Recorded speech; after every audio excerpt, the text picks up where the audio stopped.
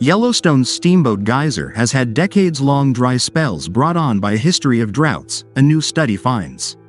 With global temperatures on the rise, the American West is projected to become drier.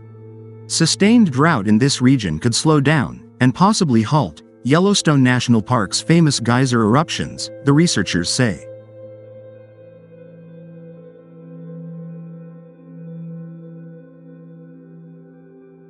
Even small changes in precipitation could affect the interval between eruptions, explained Shaul Hurwitz, a hydrologist at the United States Geological Survey, USGS, who led the study. So more water means more frequent eruptions, while less water means less frequent eruptions.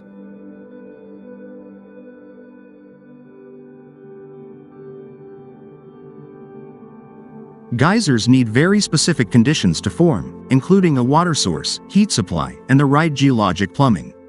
Environmental conditions such as drought can tip that balance and cause geysers to go dormant. The new study, published in Geochemistry, Geophysics, Geosystems, used partially mineralized wood by Steamboat Geyser to reconstruct its past periods of inactivity and determine what caused the geyser's dry spells.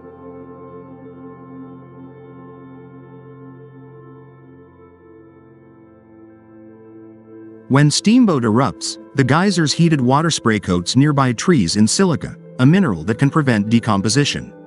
This silica mist slowly smothers the trees, eventually killing them while preserving the wood's structure.